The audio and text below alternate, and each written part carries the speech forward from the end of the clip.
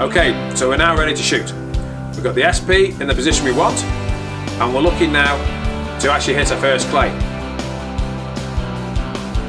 We're going to bring the gun up and we're going to look out towards the target. You will see your barrels in your peripheral, the same as you would all, always see them.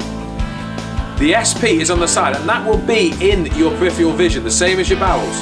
And as long as you can see that picture, the SP is doing its job. And all you've got to do is bring the gun up slowly to the target, insert into the face and pull the trigger.